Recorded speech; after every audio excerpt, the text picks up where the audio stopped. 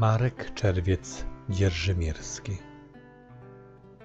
Wigilia z nieobecną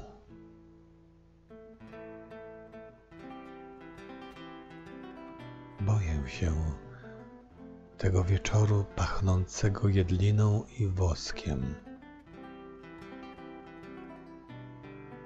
Talerzy naprzeciw siebie. Świecy wigilijnej, latarni morskiej na białym morzu obrusu, wskazującej bezpieczną przystań opłatka. Łamię się nim, chcący dzielić się z Tobą miłością, codziennością. Łamię się nim, patrząc na puste miejsce